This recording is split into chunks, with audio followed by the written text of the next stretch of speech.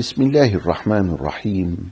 الحمد لله والصلاة والسلام على سيدنا رسول الله وآله وصحبه ومن والاه. وأشهد أن لا إله إلا الله وحده صدق وعده ونصر عبده وأعز جنده وهزم الأحزاب وحده. وأشهد أن سيدنا ومولانا محمد رسول الله الذي أرسله الله رحمة للعالمين. وهاديا للثقلين أجمعين. اللهم صل وسلم عليه كما يليق بكماله ومكانه عندك يا أرحم الراحمين.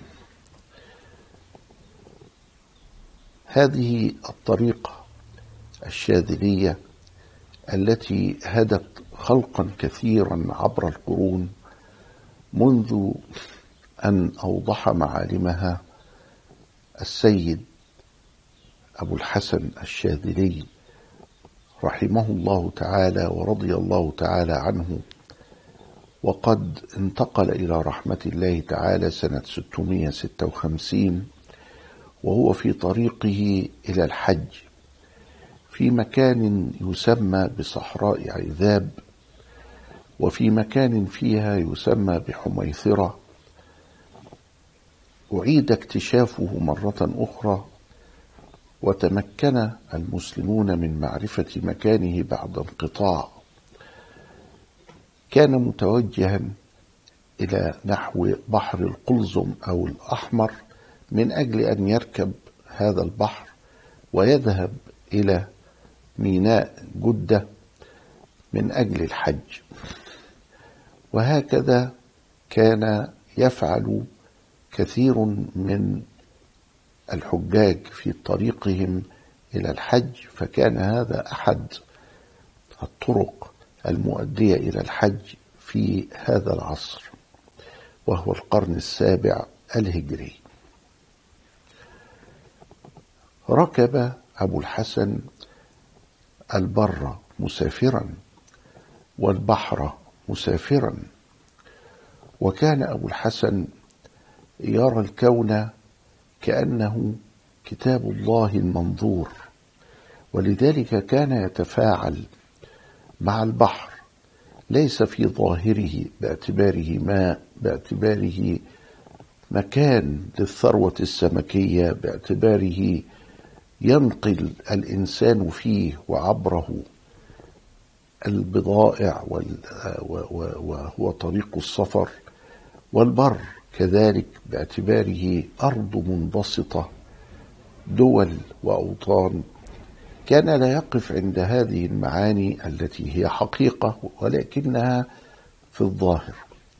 بل كان رضي الله تعالى عنه يرى السفر مثلا أنه انتقال من مكان لمكان لكنه أيضا سير في طريق الله سبحانه وتعالى. إذا هناك حقيقة للسفر وهناك مجاز للسفر. كان يرى البحر لكنه كان أيضا يعرف أن البحار قد تكون بحار أنوار وقد تكون بحار أغيار. وكلمة بحار الأغيار معناها كثرة الهم والنكد والمشكلات التي يلقاها الإنسان في حياته الدنيا ويعانيها من الحياة ومن المعيشة ومن البقاء حيا في هذه الأرض وعلى هذه الكيفية. كانت هناك رمزية كان هناك مجاز يوسع المعاني. وهذا ما وجدناه عند رسول الله صلى الله عليه وسلم وهو يعلمنا لا هجرة بعد الفتح ولكن جهاد ونية. والمهاجر من هجر ما نهى الله عنه فوسع مفهوم الهجرة من الانتقال من مكان إلى مكان من مدينة إلى مدينة لبعض الأهداف قد تتعلق بالإيمان وقد تتعلق بالأمن إلى أن نهجر ما نهى الله عنه إلى مجال الضراعة لله والتعلق بالله وقضية التكليف وقضية العبادة وقضية العمارة وقضية التزكية. النبي صلى الله عليه وسلم ينقل مفهوم المجاهد من ذلك الذي يقاتل بحق في سبيل الله يصد العدوان ويرد الطغيان إلى المجاهد الذي هو أعظم من ذلك ألا وهو جهاد النفس. النبي صلى الله عليه وسلم يتكلم عن الشهيد. الشهيد هو من قتل بين معركة بين المسلمين والمشركين لكنه يوسع المعنى ويقول إذا شهداء أمتي لقليل ويجعل من الشهيد ذلك الذي عشق فكتم فعف فمات فمات شهيد. ذلك الذي أبطن في داء داخل جسد فصبر لله وشكر على نعمائه وصبر على بلوائه. فمات مات شهيد. المرأة التي يخرج منها الحياة فإذ بها قد ماتت من جراء هذه الوظيفة التي أقامها الله فيها من إنشاء الحياة فتكون شهيدة. والمرأة تموت بجمع شهيدة وسع مفهوم الشهادة. سيدنا أبو الحسن وسع مفهوم البحر. سمي حزب له بحزب البحر لأنه ألفه في البحر لأنه جمعه في البحر لأنه أنشأه في البحر. ولكن عندما يتكلم فيه عن البحر ويتكلم فيه عن السفر ويتكلم فيه عن الصاحب والرفيق فإنه يوسع المعنى ويجعل هذا البحر إنما هو بحر الحياة وهذا الرفيق والمصاحب إلى أنه رفيق الحياة ورفيق آه، آه، صحبة السير. إلى الله سبحانه وتعالى.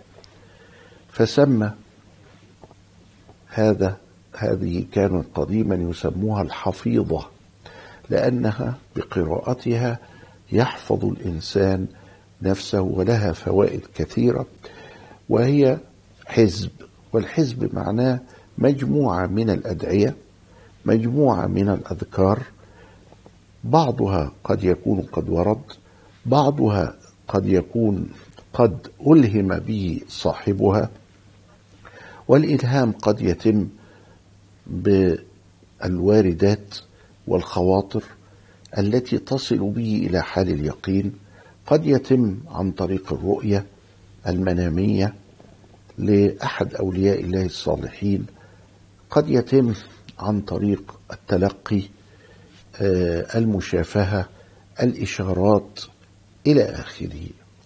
كثير من هذه الإشراقات تحدث لأولياء الله الصالحين من كثرة العبادة ومن كثرة الذكر ومن كثرة الخلوة مع أنفسهم.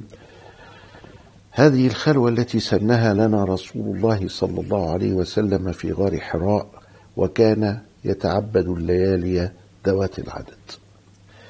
ولذلك هذه الإشراقات ينتج منها تجميع إما أن تكون هذه الأدعية والأذكار واردة وإما أن تكون من إنشاء صاحبها.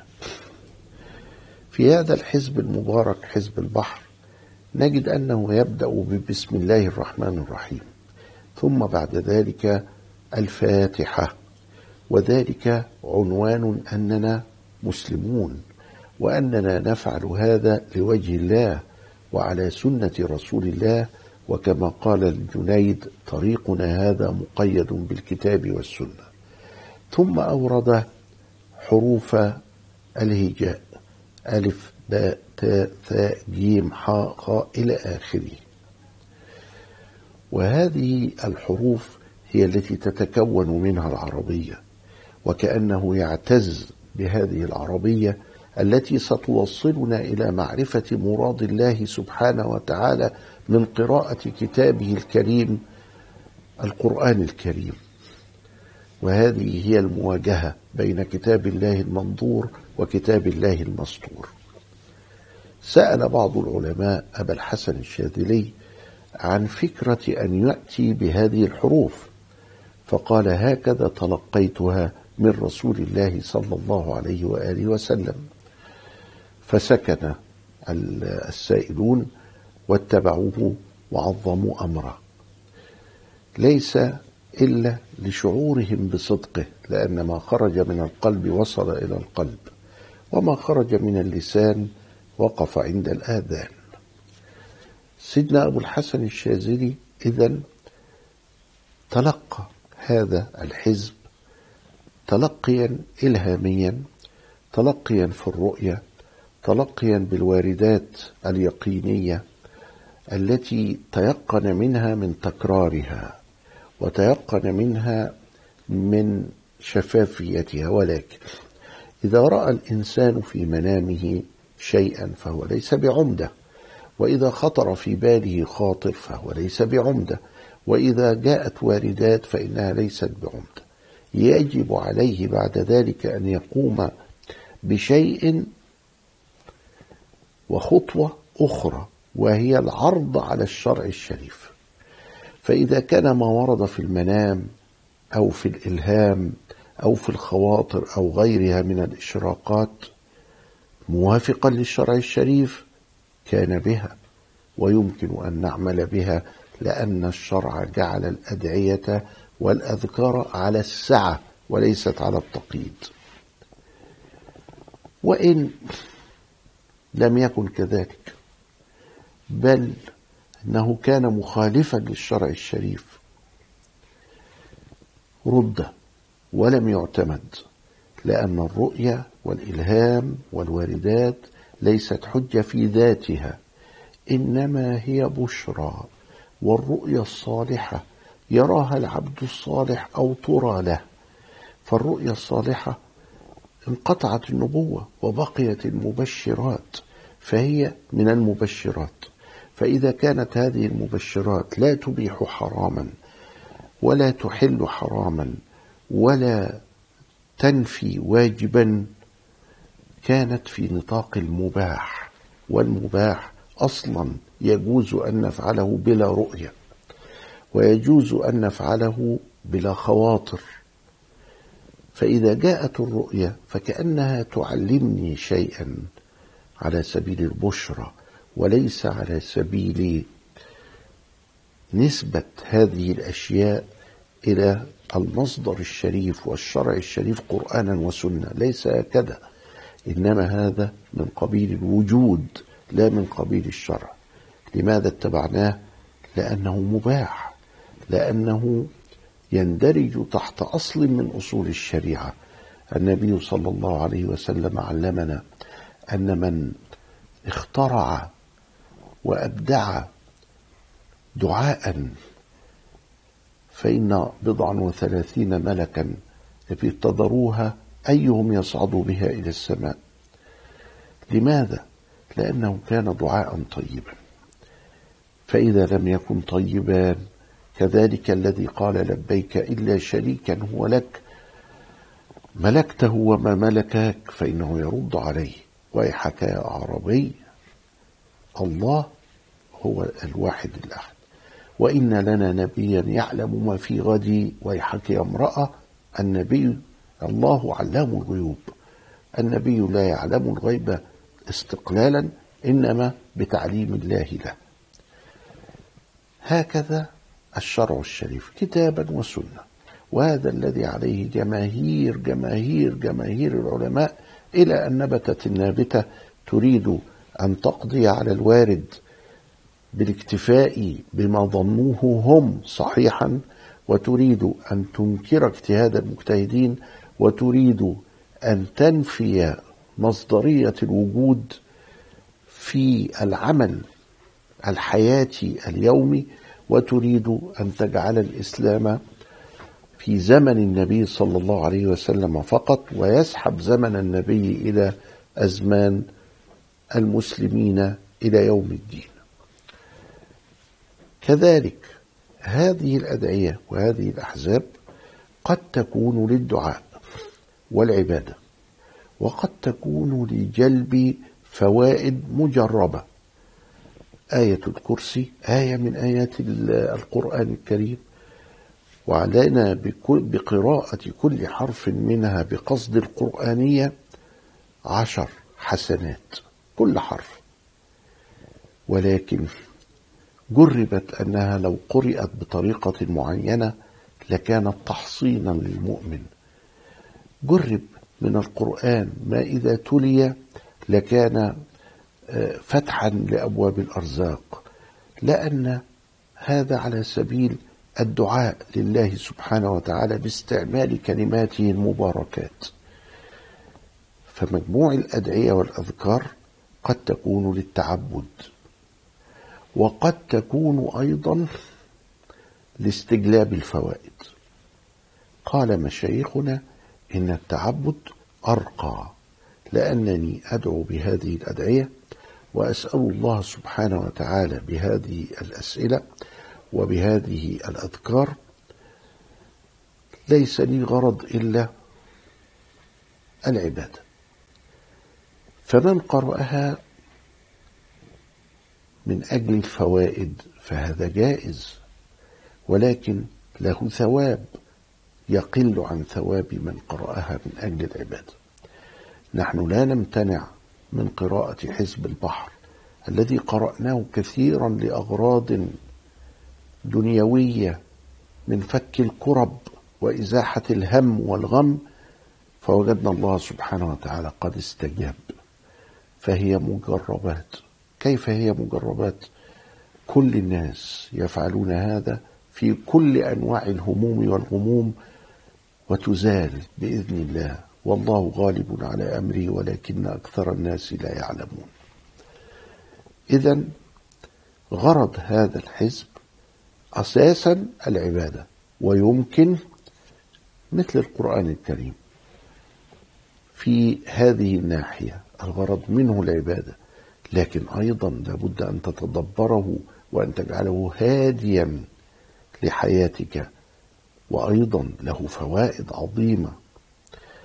وهذا في حديث أبي هريرة عندما ظهر له الجن فقبض عليه وكان يريد أن يسرق من أموال الزكاة والصدقة فقال اطلقني لأن عندي أبناء وكذا ولكن أدلك على شيء إذا فعلته لا يدخل الشيطان بيتك اقرأ خواتيم سورة البقر فقال له النبي صدقك وهو كذوب. إذا فهذه الأشياء متعددة. القرآن يقرأ عبادة يقرأ تدبرا يقرأ من أجل تحصيل النفع الدنيوي والأخروي وكذلك الأدعية وكذلك الأذكار وكذلك الأحزاب وهكذا. كذلك يسأل بعضهم عن اختلاف النسخ. هناك نسخ محررة وليس هناك اختلاف بين للنسخ. وأحسن من حرر هذا الشيخ مصطفى الكشمخانوي التركي في مجموعة الأحزاب. هذا أحسن ما وصلنا آه، وكان مشايخنا يوصون به لدقته. فنجد اختلافا في النسخ. فلنقرأ أي نسخة لأن النسخ الموجودة كلها اختلافاتها ليست جوهرية وليس فيها شيء آه مثل الكتب الأخرى التي دس فيها دلائل الخيرات مثلا. دس فيها أحاديث موضوعة كثيرة ولذلك فنسخة دلائل الخيرات لابد أن يرفع منها هذا القدر. وكان شيخنا الشيخ محمد زكي الدين إبراهيم ينبه على هذا. الجزولي عندما وضع دلائل الخيرات وضعها من غير هذه الأحاديث. لكن بعضهم وجد أنه كفائدة أبدا. نحن نجعل دلائل الخيرات كلها محض صلاة على النبي صلى الله عليه وسلم ومحض دعاء والتجاء وضراعة إلى الله رب العالمين. فكذلك الأحزاب هنا مثلا في حزب البحر ليس فيه نسبة شيء مخالف لا للشريعة ولا للدين. يسأل أيضا سائل آخر أن الحزب فيه نوع من الشدة. عندما يقول مثلا شاهت الوجوه للحي القيوم فكلمة شاهت الوجوه هذه تستعمل ضد من؟ الله سبحانه وتعالى علمنا السلام. ابتداء من السلام عليكم ورحمة الله وبركاته وانتهاء بختم الصلاة التي نبدأ بها تفاهمنا مع العالم.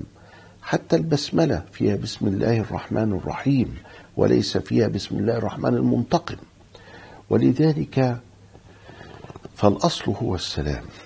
أما شاهت الوجوه فأنت لم تدرك ولم ترى من ينكر وجود الله أو يخرج الله من منظومة الحياة. فعلا شاهت الوجوه وفعلا لا يقبل أن يضيع على الناس وعلى نفسه قضية الكون الكبرى وهي الله سبحانه وتعالى. توجد بعض الألفاظ الشديدة فيها براءة من الله ورسوله. تجدها في القرآن وستجدها في السنة وستجدها في الأحزاب والأدعية وكلها موجهة إلى أولئك الملاحدة الذين يريدون فسادا في الأرض وعلوا من غير معنى. يريدون فسادا كبيرا للناس وانحرافا عظيما فأقل ما يقال فيها نحن لسنا معكم نحن مع الله. ولكن ليس بأسلوب لين اللين يصلح مع أصحابه والشدة تصلح مع أصحابها. والمؤمن القوي خير وأحب عند الله من المؤمن الضعيف. بعض الناس يتماهى مع قضية اللين حتى إنه يصير لينا مع كل شيء. ولكن المؤمن القوي هو الذي يعرف أن يفرق بين الخير والشر بين المفسد والمصلح. يسأل سائل متى تقرأ هذه الأحزاب خاصة حزب البحر؟ حزب البحر يقرأ في كل وقت.